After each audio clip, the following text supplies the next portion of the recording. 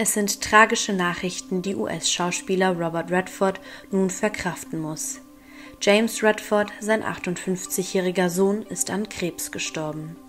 Seine Frau Kylie Redford gab vergangenen Freitag seinen Tod in den sozialen Netzwerken bekannt.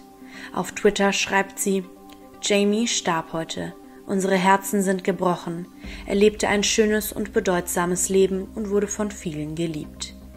Neben seiner Frau hinterlässt James zwei Kinder, Lena und Dylan.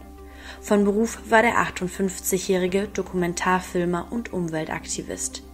2005 gründete er mit seinem Vater The Redford Center, eine gemeinnützige Organisation, die mit Hilfe von Filmen und Medien den Umweltschutz vorantreiben wolle bei einer Spendengala dieser Organisation am 6. Dezember 2018 wurde James das letzte Mal in der Öffentlichkeit gesehen. Insgesamt nahmen der Drehbuchautor und sein Vater damals 275.000 Dollar für die Umwelt ein. Sogar Will Smiths Sohn Jaden war Gast der Gala. Viele trauern in diesen Tagen um James.